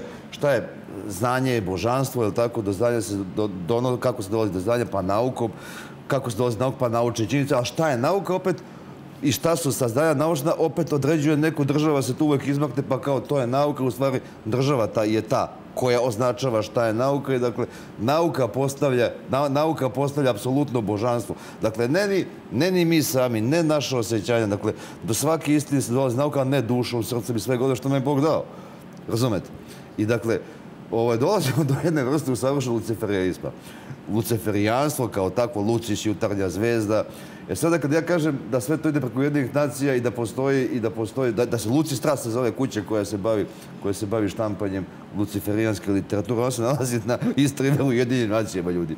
Svetom se danas upravlja preko Ujedinjenih nacija. Ovi, mi smo pričali smo malo pre o letovima aviona Comtres, to je projekat Ujedinjenih nacija kojima se, da navodno se kontroliše klima. Sve su države potpisale to 2017. godine u, u, u Ujedinjenim nacijama, u Generalnoj skupštini, u, Savjetu, u Generalnoj skupštini donete rezolucija 2017. godine. Sve što ima veze sa, sa environmental, znači sa održivošću, moraju da poštuju sve države svete i oni to poštuju. Dakle, sve što ima veze sa održivošću, sa životnom sredinom, a mi zaista i ovi naši, ja pretpostavljam i naši ljudi koji su to i potpisali, nemaju pojma u, ko, šta, u šta su se sve upali, šta sve podrazumeva. I onda mi se čudimo zašto, ne znam, trokomponentne koje kakve ovaj, troj mase padaju iz nekih aviona, pa se to nešto formira pri zemlji, pa od toga. Dakle, ovo se sve radi navodno za naše dobro. Jer mi smo Pa, mi nismo stoka, mi ne znamo šta treba se raditi. Oni to rade sve za naše dobro. Oni tako kontrolišu, tako kontrolišu poljoprivredu, tako kontrolišu, apsolutno sve. Moramo na, Ali da li, ste čuo, da li ste čuli ovo za e, kontrolu e, izlučevina, odnosno toga što se izbacuje iz kineskih aviona kad budu putovali, kad budu preletali vazdušne prostore? Biće zapečećeno. Da, da, da, da, bude, da mora biti prečišćeno, e, da mora biti zapečaćeno ili pre, i prečišćeno da zato što imaju COVID. Je se, se, Pa kako ste čuli da ne? Pa, informaciju. To je ta bio, što znači da na taj način distribucija bioloških agenata putem letova za njih predstavlja e, način infekcije. Kako bi vam bilo jasnije na koji način se to, što kažu sad je kulminacija, to je lepo objasnio Vuja i sada da damo reč Borojeviću, da pogledate šta je Američki savjet njihovih sudija govorio o tome šta se dečava tek sa decom i kakve to veze ima sa vojnim bazama i gde su postavljene američke vojne baze po, po svetu. Sada imamo potvrdu i iz Amerike. O, ovome smo pričali, ja mislim, poslednjih deset godina. O ovome govorim već toliko dugo i otvoreno. I sad kada se kaže iz Amerike, vjerojatno će se sada više verovati. Znate, uh, iz dečije krvi su se izlačili uh, određene substance koje se koristile za podmlađivanje. I to je kompletan Hollywood koristio. Namravo neću izgovoriti kako se zove ta substanca koja se nalazila i na tržištu uh, svuda u Evropi, pa i kod nas. To je nešto što je su veliki glumci govorili o tome i rekli da neće da budu deo tog istog eh, Hollywooda. Uh, broj dece o kojima se priča, to su ta nevidljiva deca o kojoj smo u prošloj emisiji pričali da ih mi u Srbiji imamo nevidljivu decu. To su deca koji nemaju socijalni broj, koji se nigde nisu zabeleženi da su opšte rođeni, a koji, koji služe uh, za ropstvo, odnosno da prose na ulicama, na semaforima i tako dalje. Procenjuje se da ih ima oko 10.000 u Srbiji. Šta se s tom decom dešava, to niko ne zna osim da se preprodaju, da prelaze iz ruke u ruku. Jedan slučaj koji sam ja imao u rukama, to sam dobio putem e, e, tužilaštva iz Sarajeva, jednog najvećeg, e, da kažemo, makroa dečijeg iz Mostara, koji je romske nacionalnosti, koji je imao negde oko 12 žena oko sebe. Sve žene su rađale, sve su to bila deca ne znam čija i dece su slale u Francusku, Italiju, Španiju i tako dalje. One su služile za to, prošenje, silovanje, zlostavljanje i tako dalje. Ukoliko ne bi donosili dovoljno novca, te žene bi, odnosno njihove majke, bi lomili ruke i noge. Oni bi to morali da slušaju putem telefona. Taj je osuđen sada i u Sarajevu je u zatvoru. E, vrlo je bitno reći da e, naši ljudi nisu svesni zapravo koliko smo mi bili srećni što smo bili pod sankcijama što mi nismo postali deo e, ovog sveta i što smo malo sebi dali na vremenu da ipak se odupremo svemu ovome. Ali ne baš toliko uspešno, jer nama se pedofilija konstantno servira kroz nekoliko nivoa. Prvo kroz učbenike, gde seksualizujete decu prerano, od vrtića pa nadalje, gde vam e, Svetska zdravstvena organizacija e, kaže preporuku svim vrtićima u Beogradu, odnosno njihovim vaspitačima, da je potrebno što pre učiti decu da masturbiraju od 0 do 4. godine da imate u prvom razredu takvu seksualizaciju dece prerano u učbenicima, da to nije normalno šta oni pišu. I mi to imamo, mi sad to upravo doživljavamo. Imate Marija May koja je na TED konferenciji u Nemačkoj kaže da pedofilija treba legalizovati. Da su to ljudi koji su potpuno normalni, samo oni vole decu, ali nije dobro ako ih siluju. Stvorila se jedna e, priča koja se sad napokon izlazi na, na, na videlo i, i sve više će se pokazivati. E, da svaki 40 sekundi nestaje jedno dete u Americi, a svaki 5 minuta jedno dete u Engleskoj. E, Srbija, Bogu hvala, nema taj problem. Toliki. Nama su nestajale deca, ali ne u tom broju. E, mi imamo drugu vrstu problema, a to je da svaki put kad pokušavate da rešite problem nekakvom e, nekakvim e, gašenjem tog požara, vi ga zapravo još više razbuktate. Nama fali ta prevencija, nama fali da se zaustavi, da se zaustavi agenda koja se sprovodi kroz osnovne škole i vrtiće, da se zaustavi e, uzimanje 5668 dece do sada od roditelja zbog siromaštva, da se zaustavi izvoz dece kroz socijalne službe koje to navodno zovu usvajanje, da se zaustavi e, toliko stvari, ja sad e, mogu da vam nabrajam do sutra, ali ponavljam se, znači embrio, e, e, šverce embriona iz Srbije, da se zaustave sve stvari u kojima smo mi svedoci, mi to vidimo i to, to se zna da se to dešava. Uhapšeni su ljudi zbog šverca embriona i to je Mađar iz Novog Sada. Znači imamo dokaz par excellence koji je to švercovo u termosu, uhapšen na granici. Zabranjen mu ulazak u Srbiju, ali šta me briga? Ja ne znam koliko on embriona izneo odavde. Znači ono što, što je e, veliki problem e, ovde, evo ja sam bio, moram sa to da kažem povodom Amber Alerta, e, čisto da mi oprosti ljudi. Znači ja sam i u ovoj emisiji imao sa gospodinom Igorom Jurić raspravu oko svega toga i pričao da nisam ja protiv sistema zaštita dece, ali sam protiv baze podataka koji će svako reći kakva baza podataka. Čoveče, daješ im pristup onda smo dobili informaciju da Amber Alert zapravo nije Amber Alert, nego da je to neki drugi softver. Pa taj softver nije pravi Srbija. Pravi... Ja više ne znam, potpuno jedna zbunjujuća kampanja. Sve što treba da uradimo je vrlo jednostavna stvar je a to je da e, se naše tužilaštvo, naša država, naša policija skocentriše na ovu priču i da krene da radi po sistemu kako to radi visokotehnološki kriminal koji to najbolje radi do sada u Srbiji. Visokotehnološki kriminal ima apsolutnu bazu podataka svih mogućih prestupnika budućih e, pedofila. Ja se stalno vraćam na Srbiju, pošto ovo je svetska priča. E, zna se e, da je Putin, na primjer, odnosno ruska vojska, imala situaciju u, u, kada je imala tu specijalnu akciju, su pronalazili u tunelima 142 dece. 142 dece koje nikada nisu videli sunce, nisu videli dan, oni ne znaju kako izgleda nebo, koji su bili rezervisani za prodaju organa. Imate situaciju da ste imali 10.000, ne, izvinjam se, 120.000 surogat majke koji su ostavili svoje bebe. Jer su one plaćene, one su rodile, bebe su tu, to što neko nije došao po njih, pobogu kakve to veze ima s nama. E, znači, mi imamo jedno, ne satanizaciju, ne ta okrut, o, o, okultizam, ne e, sekta, nego mi smo potpuno pogubili e, konce, jer ne umemo i ne možemo da zaštitimo na pravi način naš interes. Naš interes su deca. Kako ih štitimo? Kroz kulturu, kroz obrazovanje.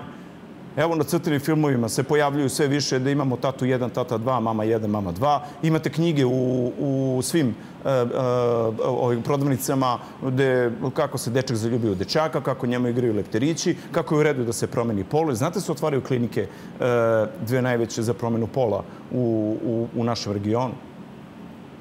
I Vratit ću se, samo da napravim jedan mali krug, evo, završio sam. E, kad smo pričali o ovim svim stvarima, zagađenjima i tako dalje. Sve to ima veze sa našom decom. Visok procenat olova je pronađen kod nas u, naše, u krvi naše dece. E, od desetoro dece koje boluju od leukemije, osam iz Obrenovca. E, zašto je to tako? Pa mislim, mi smo sami inače, i bez ovog chemtrailsa, i bez ovog što mi pričamo da sad ima definitivno dokaze, više niko ne može da govori da je to teorija zavera. E, mi smo sami takvi zagađivači. Šta je sa klanicama kod Duba, kod e, Valjeva, koje sve ispuštaju u podzemne reke? onaj nesrećni Oliver, travar sa, sa, sa, sa tare, ne može da pokupi biljke po kojima se nalazi, ne zna ni on šta je po njima. Pokušava da ih nekako spasi, preuredi da bi čaj bio zaista lekovita, ne bio, ne bio kancer, kancerogen. Znači, mi sami proizvodimo. Vi ste videli sad poplave dole u pazaru šta su izneli sve i izbacili na površinu koliko džubreta i svega ostaloga. Šta se izliva u rekama? E, medicinski otpad, evo vi znate, vi ste lekari, kompletan medicinski otpad ide u reke. Znači, kako? Kako izlaze bez filtera u reke? Pobogu, pa mi te ribe jedemo tamo, čovječe, ono, lovimo ih, kupaju se ljudi tu. Gde, gde je zaštita svega toga? Znači, mi imamo uh, jedan globalni problem. I ne treba da se taji. I ovi avioni o kojima ste malo pričali, baš to da spomenem, ko je dozvolio prelet avionima? Pa Vuk Drašković. On je potpisao dokumente da svi NATO avioni i avioni mogu da preleću bez ikakve najave. Evo nek me tuži Vuk Drašković, ne kaže da nije, ali zna i on da jeste tako. A da li to možemo da zaustavimo? Nema pojma, verovatno možemo, ali ne znam kako pošto se to prešlo što je kao što je u jedinim nacijama, mi smo sad to više nivo, mi smo samo sad tu da sprovedemo da li, e, tu agendu i tu priču. Putin zaustavio te prelete. Imali su oni prelete i tamo i onda je bilo, bile su demonstracije. Kina i Rusija nemaju prelete aviona. Još jedna država u Evropi, ne znam bujo koja. Ne znam da li vi znate. Ja bih samo da, da dodam da, e, pored da svega ovoga, je, sam, smo uradili još jednu stvar. Sledeće nedelje će u MUP e, biti predata dokument dokumenti da se uvodi još jedna organizacija, odnosno e, Liza Alert, to je ruska organizacija za zaštitu dece koja se prati putem satelita. Svako nestajanje deteta putem satelita će se pratiti slično Amber Alertu, samo je ruska oprema i e, volonteri koji su unutra. Želim da pomognem gospodinu Igoru Juriću u svojoj akciji i na ovaj način e, da se sprovede sve što možemo da zaštitimo decu. I njegov projekat Nadam se da je to dobar projekat i verujem da jeste u stvari. I ovaj proruski, kako bi oni rekli, a zapravo nije, nego su unutra volonteri koji ne traže nikakav novac, ne zavise ni od koga finansijski, nema mogućnosti donacije tim organizacijama, on rade potpuno besplatno. Svako ko želi može da ukuca Liza Alert, odnosno Megafon, i ako mu bude dozvolio, imamo još jednu organizaciju koja će štiti našu decu. E, vraćamo se sada na, na, sada kad smo se zastrašili time da nema načina da se zaštitimo, najmanje poverenja stiže iz svetske zdravstvene, a još manje kroz e, vakcine. Ipak je tema Davos. Ovo je samo jedan malo e, stariji, pošto Davos, su oni završili, ja ne znam... 52 godine, ali postoje... Ne, znam da je 52 godine, nego ne znam sada... Završili su prošle petak. E, dakle, snimak iz Davosa ovaj, Tačnije u pitanju je direktor Pfizera koji je tamo... Da, koji se tamo zatekao pred neobičnim novinarom. Deset pitanja. Ovdje prvi put, prvi, postavio sam mu pitanja koje bi svako normalno postavio, međutim vi u Davosu naravno imate novinare koji su deo toga i te, oni, oni, i oni mu ta pitanja neće nikada postaviti. Zašto je lagali da je vaša vakcina efikasna 90% kada se ispostavio da nije. Zašto ste lagali, ne znam, da će prekinuti prenos, pa kad nije prekinulo. Ali to su sve neke normalne koliko ste zaradili. Zašto ste, zašto ste lagali ovo, zašto ste lagali ono i tako dalje, zašto ste lagali reklamirali. To su neke normalne stvari koje bi ja kao novinar postavio u nekom razgovoru sa ovom čovjekom ako je već neko ako je već neko obznanio, oni jesu, znači napravili smo vakcinu, ona će prekinuti prenos, vratit će nas sve, u, ne, vratit će se svet ponovo u normalu. Na nama je da uradimo samo ovo, na nama je da uradimo samo. Ispostavilo se naravno da ništa toga nije uradio. Ovi su ljudi praktično samo postavite pitanje. Ali Albert Burla je tada, u ovom to je bilo sreda, kada je on krenuo praktično na konferenciju štapu koji imao za Tony Blairom, koji su govorili apsolutno o drugim stvarima. Ali pre nego što je tada krenuo ovaj, sa Blairom, postavilo se veliko pitanje da li će on uopšte doći do, u Davo, zato što je on nije se odazvao na poziv u, u, u Briselu istraga oko nabavke vakcine, to je 1,8 milijardi su kupili za neki 35 milijardi dolara, pa je afera bila sa Ursula von der Leyen. I oni treba da sve doći pred istražnim komitetom Evropske komisije, dakle to su ljudi iznutra, to su ljudi iz... Koji su trebali da, da, da mu postave pitanje po kojoj ceni, kako ste vi to dogovarali, pošto oni su dogovarali otprilike SMS porukama, pa su ti SMS-ovi negde nestali. I sada to, pošto je korupcijski taj afera Ursula von der Leyen 35 milijardi, on je trebao da dođe tamo, međutim on nije došao zato što je uvredio se navodno ovaj, inkrimišuje kao krivica, postoje zamenika, svoju zamenicu iz, iz Pfizera. E sada, ona je odgovarala neka pitanja i jedno od tih, tih pitanja ovaj, bilo je prilike, pa kako, na koji način ste vi dobili tuđi novac da, da razvijate svoju vakcinu? Onda je ona odgovorila, pa ko bi ako ne mi? Ko ako ne Pfizer i ko ako ne bi ta industrija? A onda su je podsjetili da je Pfizer recimo osuđeni zločinac protiv javnog zdravlja. To su ljudi koji su kaženi već milijardama dolara zbog lažnog reklamiranja, zbog nuspojava, zbog nus efekata i tako dalje i tako dalje.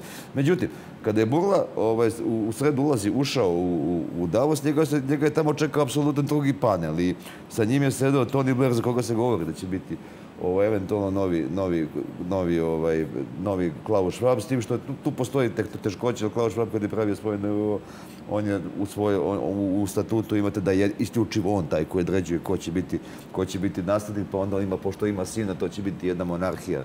Ali dobro, nije to ne bitno. Osnovni, problem, osnovni probleme na koje su ukazali Tony Blair, on, ljudi SZO, bili su ti Pozdravljeno je to što se u buduće, što se vakcine u buduće neće praviti 10 godina, nego će se praviti za ove dva, tri mesta, što se pokazalo po njima kao izuzetno dobro. E, jedini problem je ispao zašto? Zato što su se mnoge, mnoge države i vlade ovaj, iz, izvukle ispod kišobrana Svetske zdravstvene organizacije na način da su stavile do znanja da više neće slebo slediti, ovaj, slebo slediti, slediti uputstva, uputstva ovaj, Svetske organizacije. A ono što je, što je neinteresantno, prvi, to je prvi koji su se kao grupna, grupa izbacili, to su bile afričke zemlje, 54 afričke zemlje koji su rekli nama ne pada na pamet da mi s neko sa Tedrosom imamo posto, pošto ga znamo iz Eritreje, znamo koji šta je. Dakle, ovaj, založili su se da, da se vrati, da, da, da se reformiše, Svetska zdravstvena organizacija se reformiše na način da, da, njeni, da njeni svi budući zakoni, odrbi i tako dalje i tako redom budu zakoni za sve zemlje, dakle se vrati na, da, Svetska zdravstvena organizacija u stvari uđe u, one, u priču održivosti Euromental iz 2017. i da se na taj način neki, u nekom, nekom budućem rezolucijom štiti i odnosno da se svi, da, da, da se centralizuje maksimalno kao što, je, kao što se centralizovali u, ovaj, u martu 2020. godine i to je bilo to. E, ovaj, to je to, toliko, toliko oburli, ali ovo je 20 pitanja koje mu svaki normalan novinar postavio na osnovu onoga što je on govorio, dakle, od marta 2020. pa dok se nije... Ono što je neverovatno nije, od strane novinara, nego onih ljudi koji to čitaju, oni i dalje nemaju problem uh, sa tim, nemaju problem ni sa Pfizerom, nemaju problem i uvek će biti neko ko, ča, evo, možda sad što kaže Borojević kada dođe od, iz Amerike, možda će poverovati. Uh, ono što sam htela da vas zamolim je da nam kažete uh, uz sve to što se prenosi vazduhom i što se dešava, kakvo je lečenje i koja je preventiva? Hoćete vi prvo? Pa može, to je ono i osnovno što, o čemu moramo da razmišljamo. Niti možemo da sprečimo svetsku zdravstvenu da radi šta hoće, odnosno da donosi uredbe, da proizvode vakcine. Niti možemo da sprečimo avione da lete, mi obični ljudi. Možda to ne može ni naša vlast, ni naša vojska.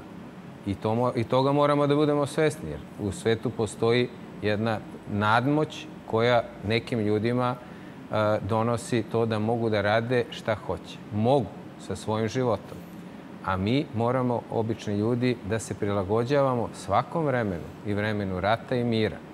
Tako da u ovim uslovima, kada je evidentno da mi gledamo povremeno za određene praznike, za određene verske praznike, recimo Badnje veče, Božić, kada su takođe na nebu leteli nekakvi avioni, ljudi se gušili, kašljali i tako dalje, mi možemo da pre, prevencijom delujemo da naši simptomi budu što manji. A to je, pre svega kada vidimo tako nešto da je napolju, da uđemo unutra, da se sklonimo.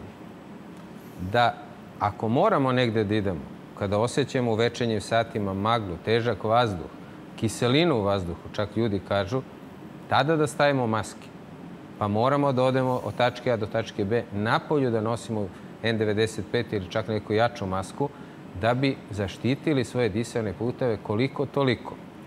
Svaki put kada se vratimo kući, a bili smo na takvom mestu, da isperemo grlo, da isperemo nos, još važnije, jer mi uglavnom na nos dišemo. To može običan fiziološki rastvor. Svako bi trebao da ima u kupatilu, pored sapuna, fiziološki rastvor ili još bolje možda rastvor sode bikarbone, jedna kaščica na 2 deci vode i sa špricem da ispere svoj nos. Jer u nosu se zadržavaju sve te čestice o kojima pričamo i hemikalije i sve ostalo što nas posto iritira i ljudi kažu vratio sam se kući i počeo da kašljem i da kašljem suvo. Nisam mogao cele noći da spavam zato što su te čestice u nosu i nazalnoj sluznici, sem onih koji trče na polju ili pevaju, koji udišu direktno u pluća, e oni dobiju ozbiljne simptome promuklosti i tako dalje. Znači, pranje ruku kad se vratimo kući, špric u nos ili već ušmrkavanje fiziološkog ili tečnosti. Oni koji već imaju taj trajni kašalj e, ili su promukli. Ja govorim o prevenciji. O prevenciji da. koja je mnogo važna. I mi automatski odmah to što smo udahnuli tog trenutka kada vidimo da je zagađeno, da je, da je magluština, da je te, vazduh takav ili da je nebo zaprašeno u najlepšem danu, ljudi izađu da šetaju, vide iznad sebe, vrate se kući i počnu da kašlju kijaju. Znači da isperemo nosnu sluznicu, grlo a, i da na taj zatvorimo prozore kada vidimo tako nešto. I mi smo već 70% smanjili svoje simptome. Kada počne čak kašalj, takođe to da uradimo. Jer rekli ste neke niti silikonske, ne znam ko je rekao šta sve tu ima.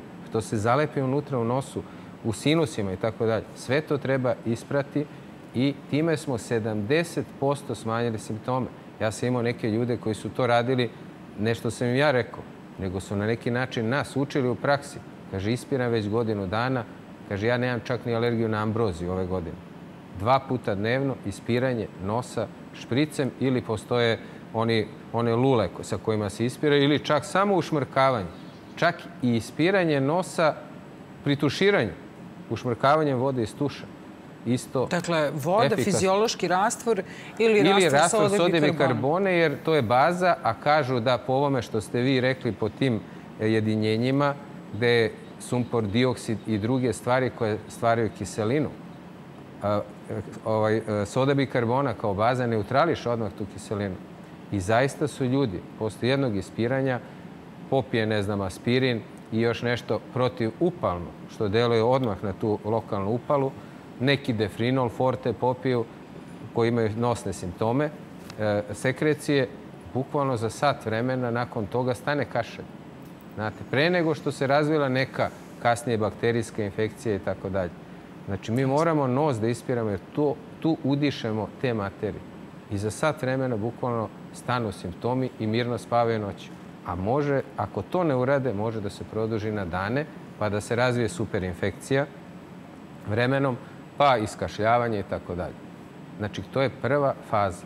Za ove dalje faze, da kažem, e, lečenja, e, kada dođe do temperature, kažem, tu imamo defrinol forte, tu imamo ibuprofen, aspirin se pokazao jako efikasan od 500 nekoliko dana uzeti tih dana. U COVID-u su mnogi koristili, bilo je ovde u vašoj emisiji i lekara koji su savjetovali ivermektin. I ti ljudi su jako dobro prošli u smislu smanjenih simptoma. I naravno sve ono što jača imunitet, što podiže imunitet u kom smislu? Nadoknada D vitamina koji se troši u svim ovim stanjima, C vitamina, minerala, zatim prirodne materije, kao što je beli luk, čak i rakije i alkohol, sam čitao neke, da kažem, izjave i tvrdnje da vezuju te nanočestice. Znači, tako da oni na selu kaže, znaš šta, doktore... Rakije vezuje nanočestice. Doktore, ja pijem po jednu, pa imamo dve, novu kampanju. Po jednu, dve rakije, jedem beli luk, malo slaninice i kaže, evo ja nisam imao ništa, ništa za ovih par godina, ovaj, kiseli kupus i tako dalje. I zaista, kaže, evo nisam imao ništa, kaže. Ali redovno po jedna do dve dnevno. I naravno, oni vrlo često gledao sam to, isperu nos, ovako u ruku uzme. Rakije. Dobro, to baš boli. Ne znam da li ste probali. To peče... Šta, ra, ne rakijom. Nego? Ne rakijom, nego vodom. A to, aha, aha. Vodom. Oni peru lice o, i malo ušmrka u nos, izbaci i on tako dva, tri puta dnevno. I zaista ja se čudio Kako je to? Ovo je važno. Pranje ruku kad se vratimo od spolja, pranje nosa i grla, ispiranje. Ja bih samo dodao Oliverov recept, korijander. Aha. Korijander obavezno se ubacuje svuda, korijander je I obavezno kremom protiv bubuljica. Ma, Zato ona, pa sam ga i oženila. E, to će sigurno da. rešiti da. mnogo važno. Da, a unutrašnji, tako da su to neke stvari iz prakse. Prosto ja, ja govorim iz prakse gde vidio sam zaista ljudi da, ovakvom nečim, da. metodologijom su imali smanjenje simptoma, čak i prekid tih ranih simptoma, bukvalno za nekoliko sati to je, e, stale su te, te gobe. Jasno.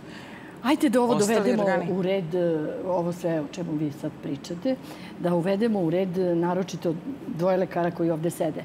Ne mogu to da slušam. Iz razloga što ovo o čemu vi pričate jeste higijena nosa i usne duplje. Higijenom nosa i usne duplje nikad niste rešili problem koag- hiperkoagulabilnosti krvi. E, niste rešili problem leukemija, niste rešili problem onk- onkološki, niste rešili problem nanočestica. Nanočesticu vi nemate u nosu. Jer znate, nanočestice koje se nađu u nosu, one su vezane za mnogo veće partikule, to ćete i kijanjem i bilo kako, one ne mogu da uđu u vaš krvotok. Ono što se nalazi u nos, na nosu, zaustavljaju, zaustavlja cilijarni trepljasti epitel nosa. I to, se, to su velike čestice. Nanočestice su nešto, kolega, što ne možete da operete. Nanočestice su čestice koje su, e, nisu to delići sekunde. One ulaze putem kože, putem vazduha, e, e, direktno u krvotok. Perite onda krv. Perite krvotok, to je suština. Ovo o čemu vi pričate, to je lavaža, to su razne metode higijene gornjih disajnih puteva.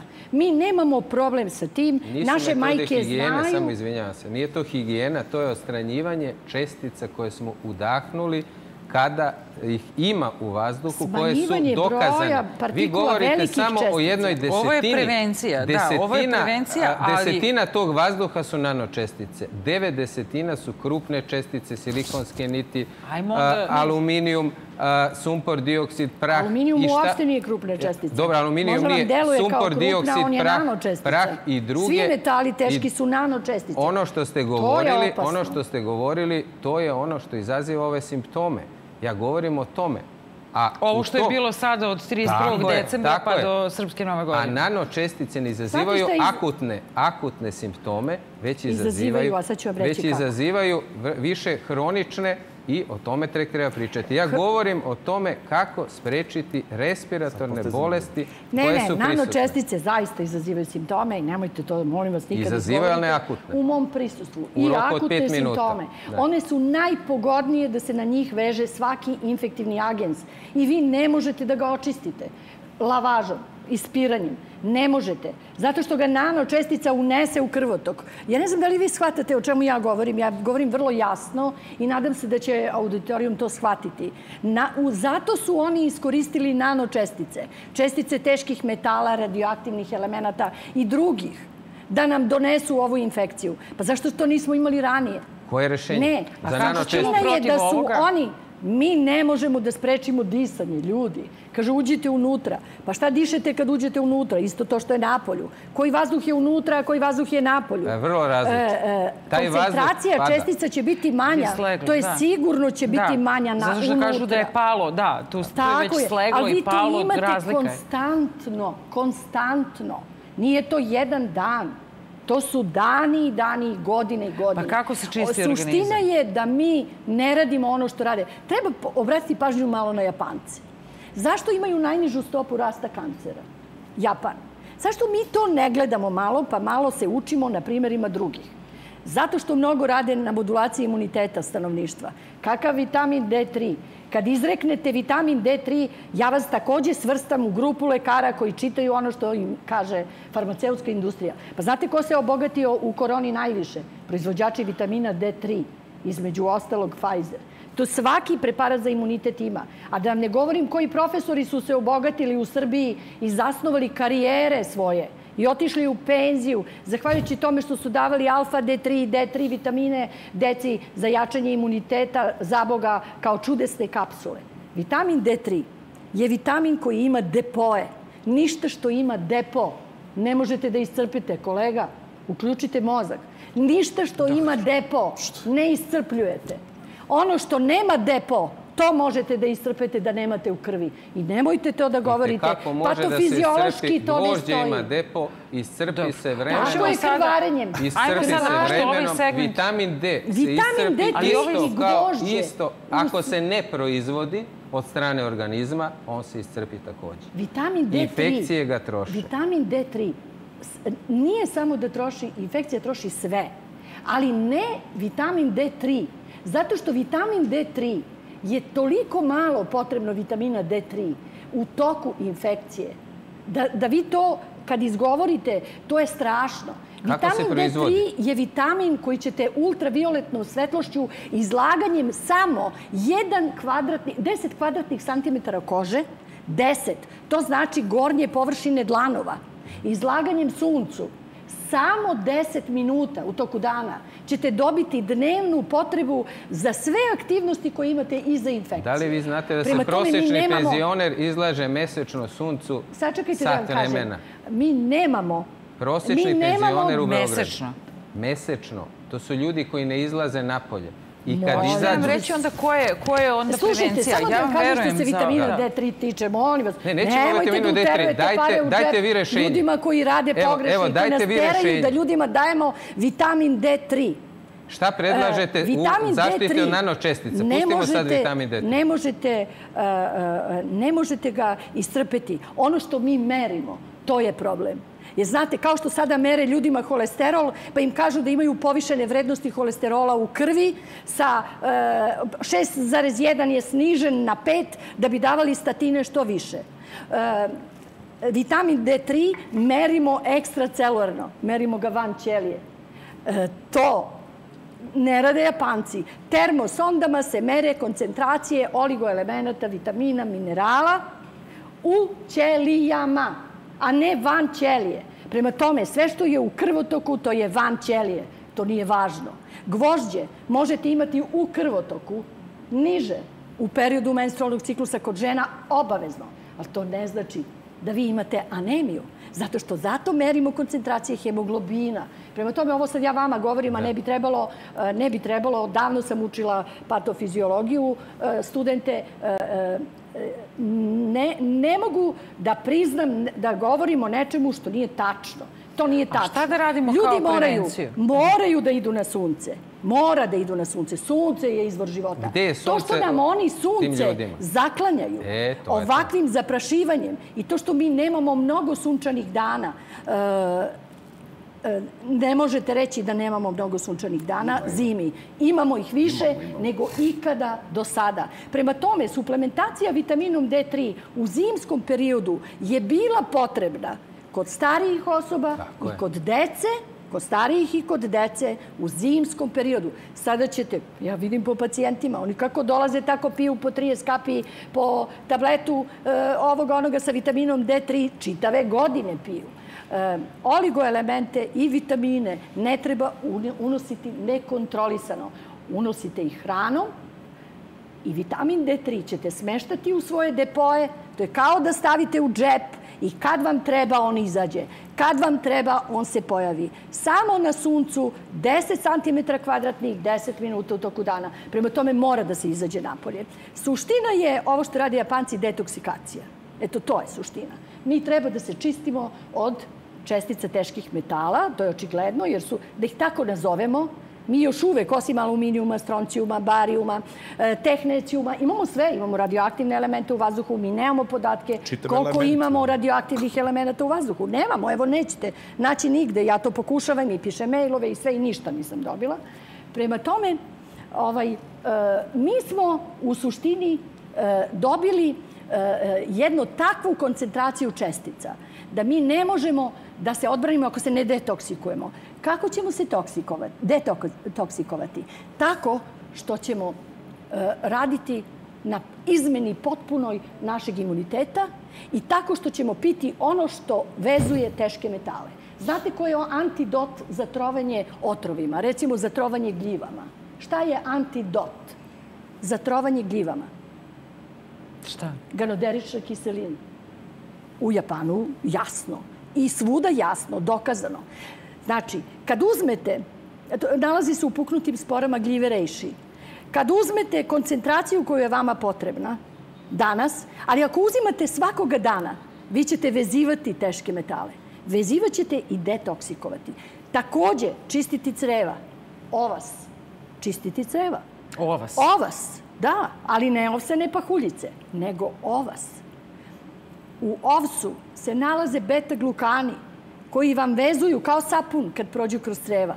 Bubre i vezuju e, Sve što se nađe u crevima, što je mast, višak šećera naročito. Najviše naslaga u crevima su masne. Su masti u stvari. Višak masti i višak šećera u našoj ishrani, jer mi ishranom unosimo mnogo viška šećera i viška masti. Kad je u pitanju modulacija imuniteta takođe, triterpenoidi iz tih spora gljive rejši su najbolji na svetu. Nemaju štetni efekat. Znate da su mnogi pedijatri davali deci beta-glukane, protiv kojih se ja borim grčevito, da se ne daju deci. Bilo je anafilaksi i smrti kod dece davanjem beta-glukana. A vi ćete kod nas naći na tržištu koliko hoćete sirupa sa beta-glukanima. Za decu, za jačanje imuniteta, To su substance koje se dobijaju iz kvasnica. Iz kvasca. Iz kvasnica u kojima ima i mnogo B vitamina, pa se ne zna odakle ti, e, te anafilakse pripisuju se vitaminu B, jer postoji B vitamin koji daje snažnu alergijsku reakciju. I to se desi. To se desi samo jednom. I ne daj Bože detetu vašem, pred vašim očima da se desi, to je strašno. Prema tome, kažem vam da mi ne možemo da jačamo imunitet dece, Sad govorimo o deci, a da ne pričamo o odraslima koji uopšte ne rade na jačanju imuniteta, time što ćemo im davati substance koje će ih senzibilisati, koje će im pospešiti alergijsku reakciju. Drugo, ulazite sebi u stomak kad kažete dajemo aspirin. Aspirin, šta je aspirin? Acetilsalicilna kiselina. A ovamo pričate o tome da su to kiseli produkti. Vi povećavate kiselost davanjem aspirina. A vi rekao ste da treba koagulaciju da rešimo. Da. Koagulacija se rešava aspirinom. Koagulacija? 5 do 7 dana. Kad bismo Aspirina rešili... je sasvim dovoljno Aspirin... da se reči koagulacija koja se izazove u COVID, u ranoj fazi. E, protiv uh, uh, taloženja trombocita. Ne teoretski, nego praktično. A ova koagulacija koja se kod nas dešavala... Ja vam govorim dešavala... o praktičnom primjeru na hiljadama pacijenata a ne o teoriji koju, koju vi sada zastupate. Kad izločite zaključke na hiljadama pacijenata, Tako je. E, ja bih voljela da hiljade pacijenata koje su pile aspirin, a, po, a postoji studija koja je uvela aspirin u nauku, uvela ga u, u medicinu, I sad svaki kardiolog od koga odete obavezno će vam napisati e, aspirin. Ne. To je studija koja je dokazala... Vi govorite o uzimanju aspirina neprestano doživotno. A vi 5 ja do 7 govorim dana. o tome Sve što da se uzmete uzima 5 do 7 dana ne znači malte ne ništa. To znači mnogo. Svaka bolest se leči nekoliko dana. Velika je laž, velika ne, je laž davati lekove doživotno. To je jedna, jedan besmisao, ali takođe Znači, mi rešavamo problem kao kad lešite, kao, da kao, kao kad lečite gnojavu anginu i da ceo život pijete antibiotik. Hormone ne Vi može da nadoknadi na drugi način i bolest prestaje. izvađena nego davanjem lekova. To su deficiti. Ovo je akutno stanje koje lečimo određeni broj dana i u praksi se to pokazalo. Drugo, mi, mi moramo da imamo u redu... Mi da kod ljudi koji su redovno pili aspirin. Molim vas, dajte da ovo ljudi jasno čuju, kolega. Nemojte izvodite zaključke kao to da rakija deluje, uh, ja vezuje izvodim, se za vidite, nanočestice. Ja ne izvodim uh, zaključke o tome što vi govorite. Ja govorim aspirin. praktično primjer. Da, ljudi da, vi čitate, vidite, vidite, vi čitate teoriju. A ja govorim u praksi šta je bilo sa ljudima. Ljudi koji su umirali od korone. Pa znate koliko doktora koji piju aspirin u redovnoj terapiji je umrlo od korone? Zbog tromboza. O čemu govorite? Nije im sprečila. O kom aspirinu govorite? 100 miligrama. Ne, ne, ne. Kakvi 100 mg? 500 mg najmanje su Niko nije pio. Aspirina. Sa 100 mg je bila doza. Pa ja imam koleginicu koja je umrla i, i nekoliko kolega koje znam, da. koji su, imam anestezijologa, kolegu koji zna šta je aspirin. Do. Samo, tome, samo ne, čuli smo prevenciju od doktora. Da li imate nešto umesto rejši koja može, koja je dostupna ovome narodu, onom čoveku na selu? Da detoksikuje, da detoksikuje teške metale. Eto, da li vi znate slučajno nešto što detoksikuje teške metale? Pa pominju se zeoliti kroz ove emisije da. i, i pominju se... Reši je potpuno nedostupno običnom čoveku, a nas ovde obični ljudi gledaju. ne mogu to da urade. E, gline e, su, kao i smekta recimo, to su gline. E, gline su elektronegativno neelektrisane e, čestice koje pokupe e, elektropozitivne čestice u crevima. To je, nedost, to je, to je nedostupno to je... ljudima, pogotovo 99% ovih koji nas gledaju ne mogu ni, ni, da, ni da dobiju rejši, ni da plate reši gljivu, Mi a govorimo kamoli... o, gli, o glinama. A. Gli- Sad o zeolitima. E, O, zeolit je drugo. Da. ja ću vam Da. kažem, reši gljiva nije nedostupna uopšte, odnosno spore gljive reši nisu skupe, kolega. One su mnogo jeftinije od statina. Spore gljive reši koštaju 1980 dinara. E, količina za mesec dana. To nije nedostupno. Pa može da ga pije i drugi dan. Dobro, svaki drugi zeolit dan. je dostupan. Bolje i svaki Zeolit drugi dan nego da. nikada. Ali to su gline. Zeolit je glina takođe.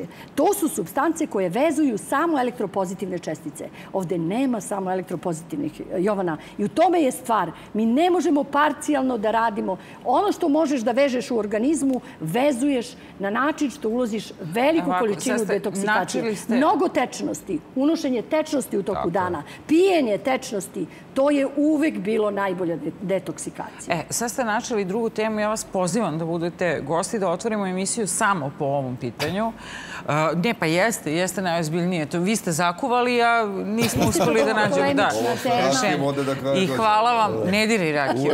Hvala vam puno što ste